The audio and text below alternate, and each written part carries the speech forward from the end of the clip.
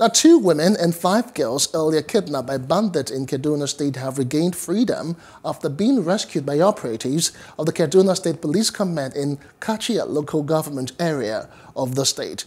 Now, the police public relations officer, Mohammed Jalige, who confirmed the release, said the victims were abducted by the bandit in Meigoro village in Kachia on Sunday and taken to an unknown destination.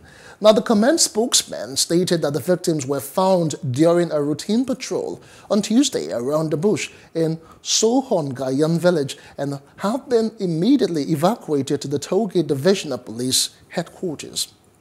Hello, hope you enjoyed the news. Please do subscribe to our YouTube channel and don't forget to hit the notification button so you get notified about fresh news updates.